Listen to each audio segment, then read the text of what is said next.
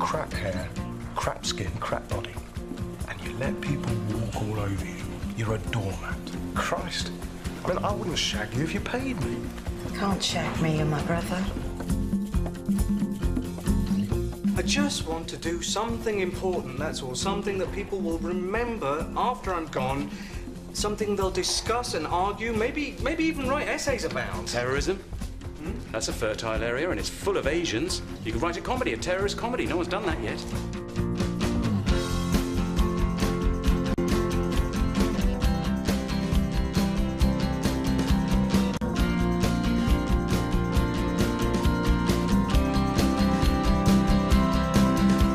When I was your age, I had a home of my own, three children, and a husband who drank too much. You don't get that with spoon feeding.